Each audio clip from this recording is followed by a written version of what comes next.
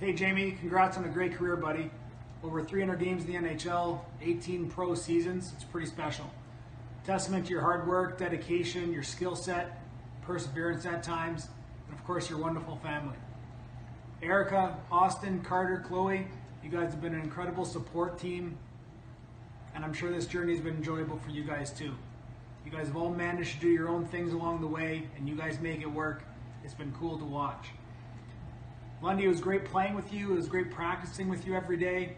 You gave our wonderful fans in KAC something to be proud of with your play year in and year out.